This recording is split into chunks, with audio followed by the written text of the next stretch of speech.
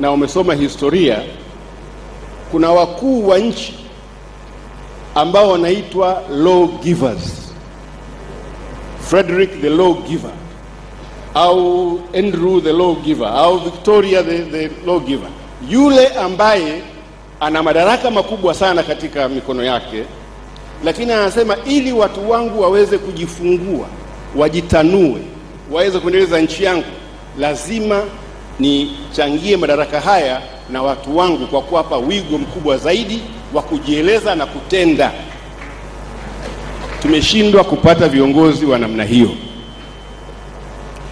Julius Kambarage Nyerere ambaye umemzungumzia leo, sidhani kama angekuwa mkamilifu kama asingechukua msimamo aliochukua mwaka 1991 hadi 92 hadi 93 hadi 94 hadi 95 tulivyopata bunge la kwanza la vyama vingi, kwa kusema kwamba sasa hivi siasa za vyama vingi haziepukiki tena.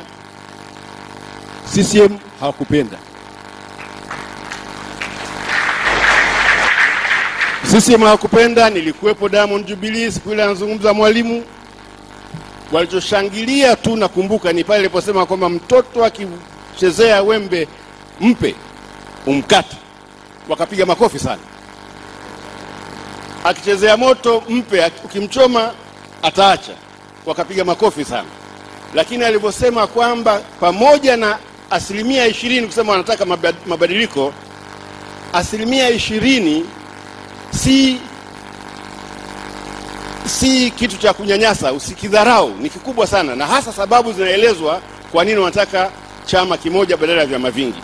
Niliona kabisa, nilikuwa katika ujumbe wa Dar es Salaam, watu wenzangu wajumbe walikuwa hawapendi kabisa maneno ya Mwalimu na waliyapinga pale pale, nikiwasikia wanasema wenyewe, huyu mzee karibikia uzeeni, huyu mzee kachanganyikiwa, kwa sababu alisema sasa panueni wigo, hamwezi tena kutawala peke yenu. Walimkatalia, na tangu wakati ule inaonekana kuna rear guard action ya kurudisha nyuma ma, ma, ma, maendeleo tulikuwa tumeyapata huko nyuma. Mpaka leo hivi sasa, pamoja na hatua zote nzuri anazochukua rais wa sasa hivi, mrithi wako Mheshimiwa John Pombe Magufuli, ambazo zimepongezwa hizo hatua, lakini ukiangalia ukiangalia ile tablo, picha kubwa zaidi ya nchi hii ni kwamba tumerudi nyuma kama miaka hamsini kwa masuala ya demokrasia kwa kufinya uhuru wa kujieleza na hususan kwa kufinya uhuru wa wakilishi wa wananchi ndani ya Bunge la Jamhuri ya Muungano wa Tanzania.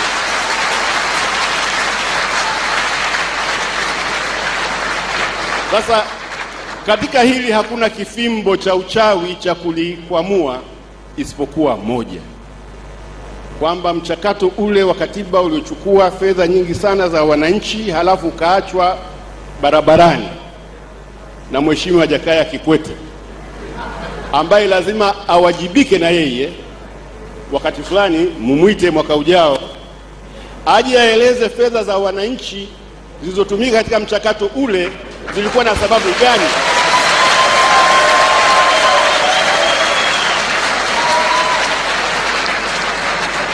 Iwapo mawaziri, iwapo mawaziri wa zamani wamechukuliwa hatua ya kupelekwa mahakamani wajibu mashitaka ya kusababisha hasara kwa serikali, Mheshimiwa Jakaya Kikwete anapaswa kupelekwa mahakamani kujibu mashtaka ya kusababisha hasara kubwa kwa serikali, moja. Pili, kuzima matumaini ya wananchi na kuwaacha sasa hivi wanarandaranda, hawajui wanaelekea wapi, na baadaye inaweza ikatuletea machafuko kama hatukuweza kutengeneza katiba ambayo itatujengea mustakabali wa wananchi wa Tanzania. Asante sana.